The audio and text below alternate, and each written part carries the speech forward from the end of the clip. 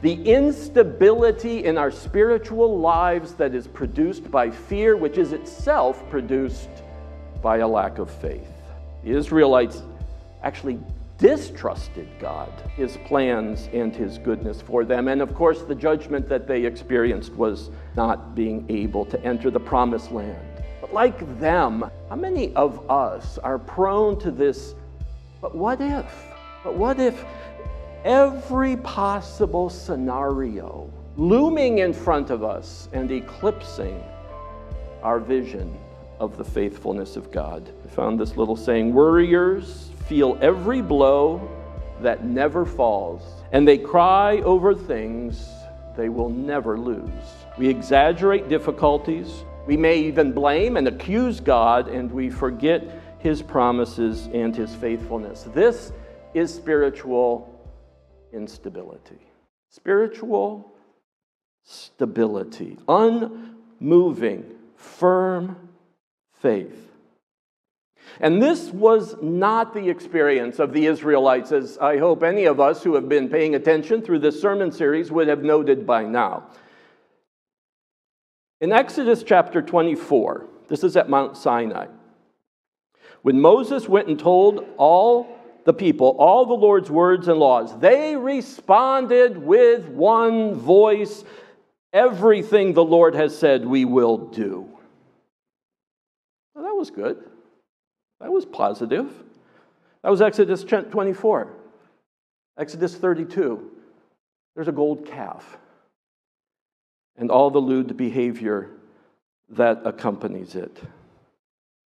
They were not a spiritually stable group moving through the desert, and that would not go well in the promised land. But Moses is talking now to, again, a new generation that previous generation has now all passed away, and they are ready, the new generation, to finally enter the land. And in preparing them for this, he references three instances, Moses does, of the Israelites' past during their journeys to the promised land that have caused them to be unstable, inconsistent, things which must not be repeated as they enter into the promised land. And if you or I find that our spiritual lives are prone to a kind of inconsistency, I think in their experiences, we might see some things that help describe our own experiences. So here we go. The first one. The first one Moses references in Deuteronomy chapter 1, starting at verse 24. You're welcome to turn there, of course, in your Bibles. Deuteronomy chapter 1, verse 24. And in this passage, which I'll read for us in a moment, Moses is recounting to the people their previous, now this would have been their parents' generation, but their previous instance of being on the brink of entering the promised land. They were on the border of Canaan, and we know the story, many of us. They sent spies into the land to kind of reconnoiter about the best way for them to enter. By the way, the spies were not sent in to decide whether or not they should enter, but rather how to go about it. In any event, they send off these spies, and reading here again, starting at verse 24, we read this The spies left and went up into the hill country and came to the valley of Eshcol and explored it. Taking with them some of the fruit of the land, they brought it down to us and reported, It is a good land that the Lord our God is giving us. Moses goes on, But you were unwilling to go up. You rebelled against the command of the Lord your God. You grumbled in your tents and said, The Lord hates us, so he has brought us up out of Egypt to deliver us into the hands of the Amorites to destroy us. Where can we go? Our brothers have made our hearts melt in fear. They say, The people are stronger and taller than we are. The cities are large with walls up to the sky. We even saw the Anakites there. Then I, Moses, said to you, Do not be terrified. Do not be afraid of them. The Lord your God, who is going before you, will fight for you as he did for you in Egypt before your very eyes and in the wilderness. There you saw how the Lord your God carried you as a father carries his son all the way you went until you reached this place. In spite of this, you did not trust in the Lord your God, who went ahead of you on your journey in fire by night and in a cloud by day to search out places for you to camp and to show you the way you should go. First kind of spiritual instability is the instability caused by fear. Moses says to the people, in spite of this, meaning in spite of all the evidences God has given of his faithfulness and of his presence with you, in spite of this, you did not trust the Lord your God. I wonder if any of us, actually, I wonder if any of us can't identify with this. The instability in our spiritual lives that is produced by fear, which is itself produced by a lack of faith. The Israelites actually distrusted God, His plans, and His goodness for them. And of course, the judgment that they experienced was not being able to enter the promised land. But like them, how many of us are prone to this, but what if? But what if? But what if? But what if every possible scenario looming in front of us and eclipsing our vision of the faithfulness of God? I found this little saying Worriers feel every blow that never falls and they cry over things they will never lose. We exaggerate difficulties. We may even blame and accuse God, and we forget his promises and his faithfulness. This is spiritual instability. In the book of James, in the New Testament, he talks about this in form of just simply asking God for wisdom. He says, When you ask, you must believe and not doubt, because the one who doubts is like a wave of the sea, blown and tossed by the wind. That person should not expect to receive anything from the Lord. Such a person is double minded and unstable in all they do. Fear, and for that matter, really, all of the emotions that God has given to us, fear makes a very good servant. It's important to know what to fear and when to fear and to act accordingly. Fear can be our friend, it is a very good servant, along with all of our other emotions. But it is a terrible master. And when it masters us, we are allowing our feelings to play an outsized role in our spiritual life. And the instability that causes is that we are strong in the Lord as long as we're not afraid, as long as we're not challenged, as long as circumstances are going according to plan.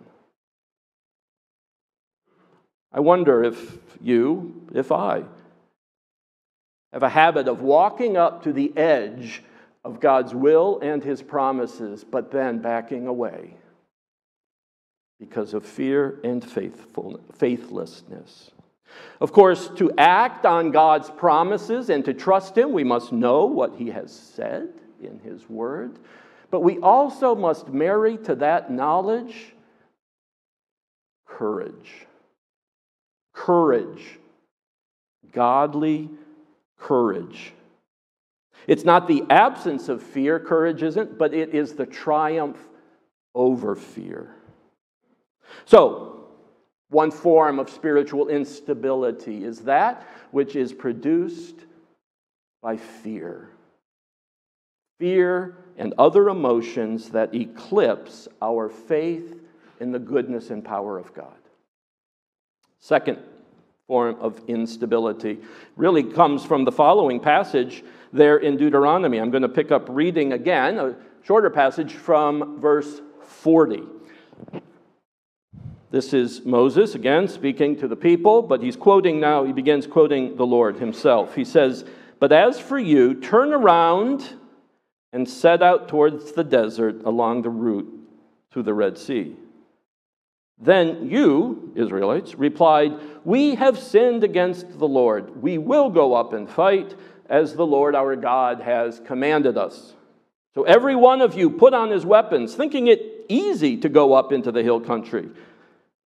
But the Lord said to me, Tell them, do not go up and fight, because I will not be with you. You will be defeated by your enemies. So I told you, but you would not listen. You rebelled against the Lord's command, and in your arrogance you marched up onto the hill country. The Amorites who lived in those hills came out against you. They chased you like a swarm of bees and beat you down from Seir all the way to Hormah.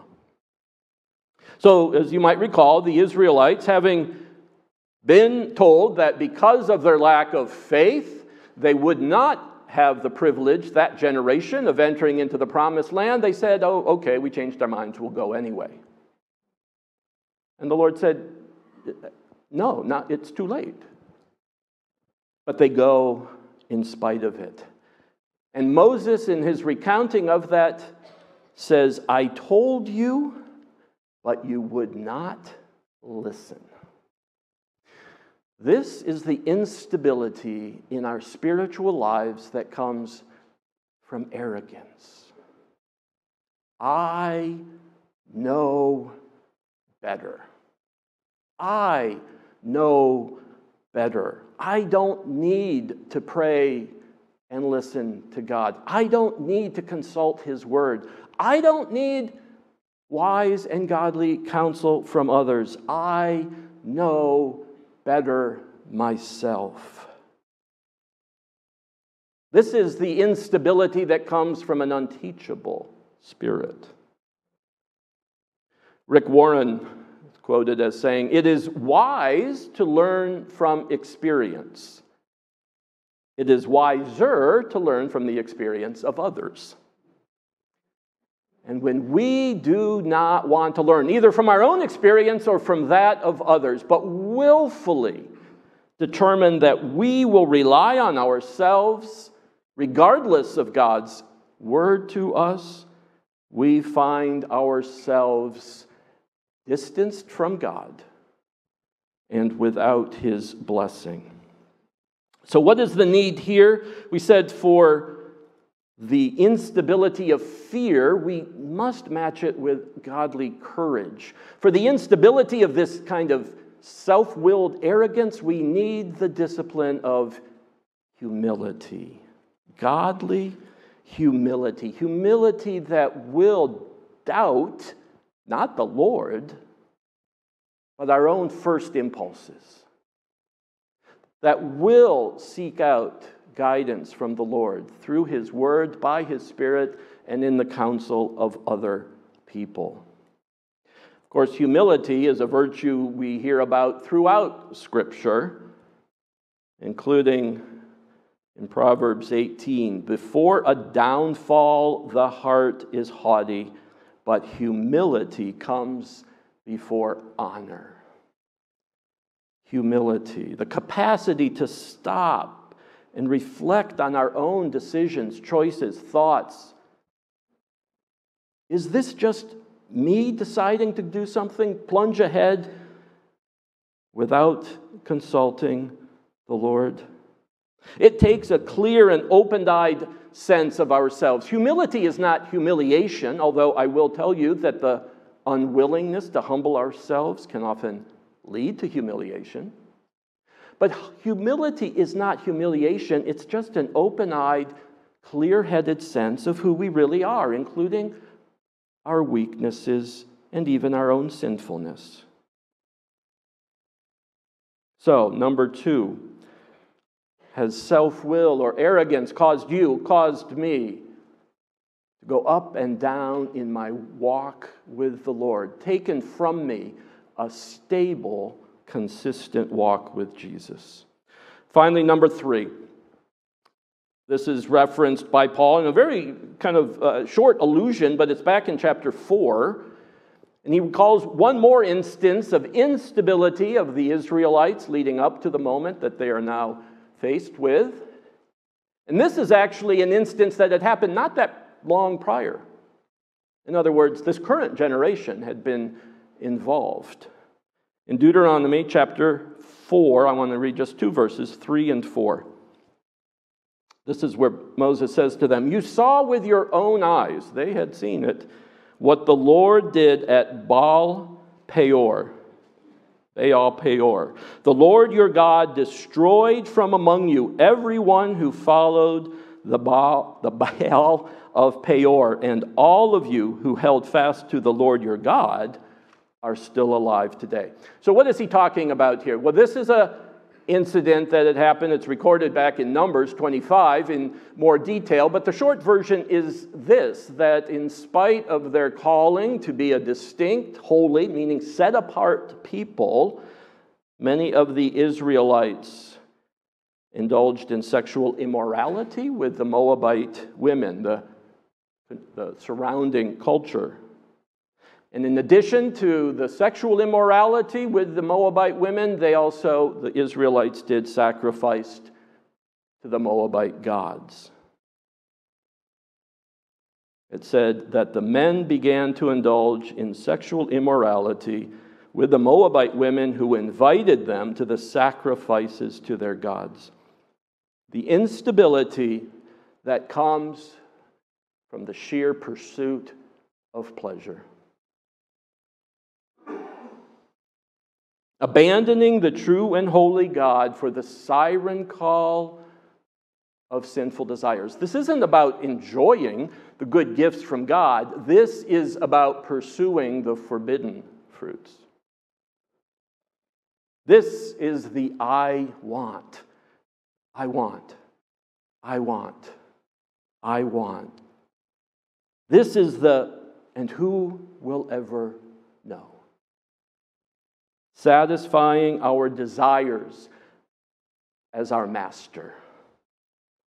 Well, the discipline needed here, of course, is a kind of godly self denial.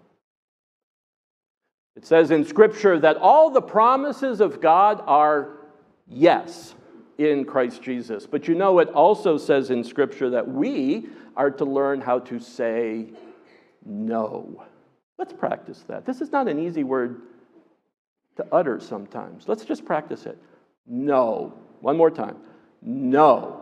What am I getting at here? In Titus chapter 2, Paul says that the grace of God that has appeared, that offers salvation to all people, teaches us to say no to ungodliness and worldly passions and live self controlled, upright, and godly lives in this present age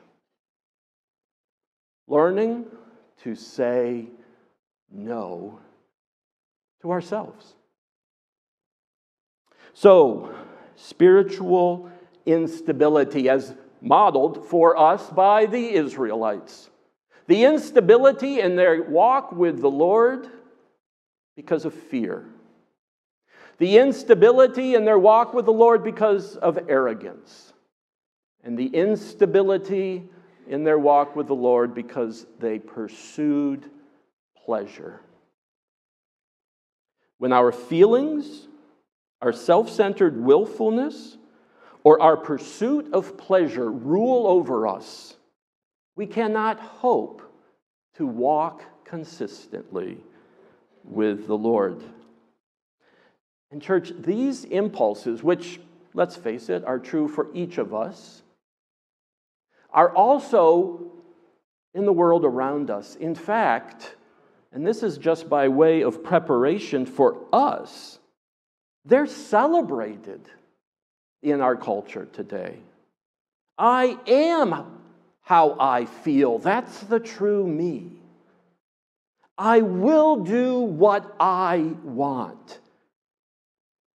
And I will satisfy my every desire. These are not only present all around us, they are celebrated.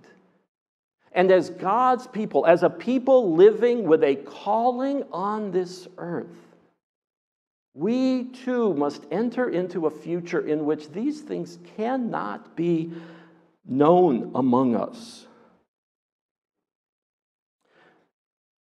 We heard read for us from Deuteronomy chapter 4 by, by Pastor Mark, passage there from Deuteronomy and Moses' um, words to the people. And I want to read it one more time because while, as it says in the New Testament, these experiences of the Israelites of the Old Testament have been given to us as examples and to warn us, they don't necessarily change us. Here's what I mean. Let me read again a portion of what we heard read earlier. This is Moses speaking to the people. He says, looking back, to another generation the day that they were at Mount, the time that they were at Mount Sinai. He said, Remember the day you stood before the Lord your God at Horeb, when he said to me, Assemble the people before me to hear my word, so that they may learn to revere me as long as they live in the land and may teach them to their children. You came near and stood at the foot of the mountain while it blazed with fire to the very heavens, with black clouds and deep darkness. Then the Lord spoke to you out of the fire. You heard the sound of words, but saw no form. There was only a voice. He declared to you his covenant, the Ten Commandments, which he commanded you to follow, and then wrote them on two stone tablets. And the Lord directed me, that's Moses, at that time to teach you the decrees and laws you are to follow in the land that you are crossing the Jordan to possess.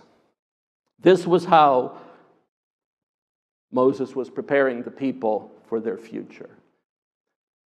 For us, it's a new day, it's a new week, it's even a new month, and maybe even we would call it a new season, to be ready for what God will do in and through us in the future. And like those Israelites, we cannot be unstable in this chaotic world and fulfill the calling that we have upon ourselves to, in the name of Jesus, bring his blessing. But we also can't just resolve to do better. The Israelites did that. They had said there at Horeb, after they heard God speak in this very intense and dramatic and indeed fearful way, everything the Lord has said we will do. See how that went. No, we need a better way. And there is a better way that God has provided. The Old Testament is given to warn us, the gospel is given to save us. And in words that echo back to that instance there at Mount Sinai, the writer to the Hebrews says, You have not come, Christians, to a mountain that can be touched and that is burning with fire, to darkness, gloom, and storm to a trumpet blast, or to such a voice speaking words that those who heard it begged that no further word be spoken to them, because they could not bear what was commanded. If even an animal touches the mountain, it must be stoned to death. The sight was so terrifying that Moses said, I am trembling with fear. No, church, you have come to Mount Zion, to the city of the living God the heavenly Jerusalem. You have come to thousands upon thousands of angels in joyful assembly, to the church of the firstborn whose names are written in heaven. You have come to God, the judge of all, to the spirits of the righteous made perfect, to Jesus, the mediator of a new covenant, to the sprinkled blood that speaks a better word than the blood of Abel. You and I, we must commit ourselves to a kind of spiritual stability in order to be fulfilling the purposes that God has for us. But this will not happen by our mere resolve. Yes, we need godly courage, humility, and self control. But to do any of that, you need Jesus. You need, we need a new covenant. We need the Holy Spirit. We need to be changed from the deepest places within and find a power and a stability that is really not inherent in our natural selves. That we can live in an unstable world with a divine stability.